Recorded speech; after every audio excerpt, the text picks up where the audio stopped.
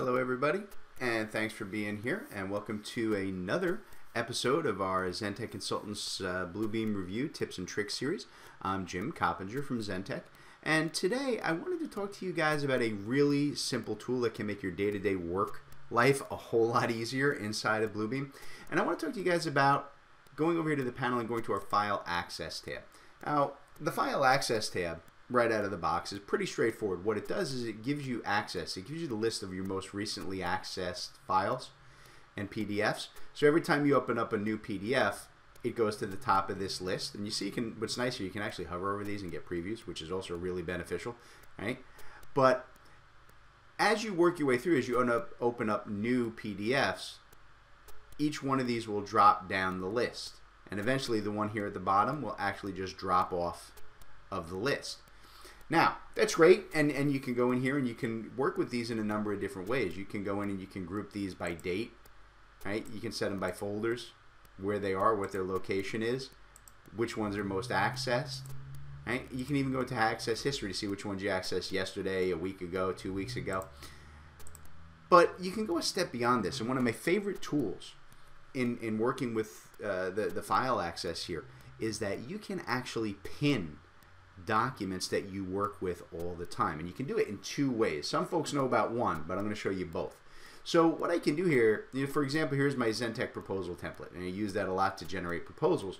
So I don't want that to fall off the end of the list. I want to be able to always access that. So what I can do is just by hovering over it, you see over here I've got this little thumbtack icon, I can pin that. Now, what most people will do at this point is just pin the file right? Which is fine. They pinned the file, and now you see it gives me two sections, pinned and recent. See now the recent list will continue to, to cycle like we were talking about. But up here, the pinned list, any file that's up here will stay here, so I can just click on it to open up that proposal template. Not a problem. And that's really useful.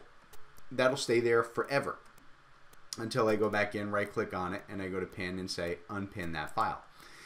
And that's okay, but what I truly like about dealing with the Bluebeam file access structure is that I can actually create categories or folders so that I can keep entire projects. So for example, some of these are, you know, we'll say they're, they're uh, you know, standard Zentek um, templates that I want to use.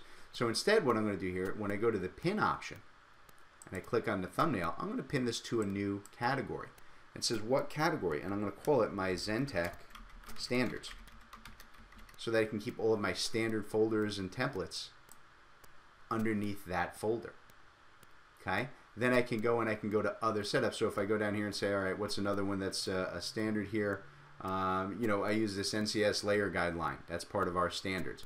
I can go to here and I can pin it. And you see now I can actually make that part of the Zentek standards category.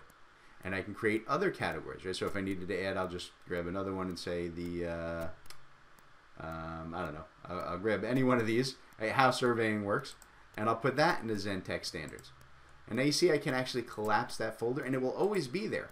So now whenever I need to start anything from a standards folder, I expand my standards. Here are my standard PDF forms. I, I can do it based on projects. So if you know this this um, civil plans, right? That was part of project ABC. I can just pin that and create a new category called that whatever the project name is, project, you know, one, two, three, four, five, right? And I can just go ahead and say okay. And now you see that's under the project one, two, three, four, five category.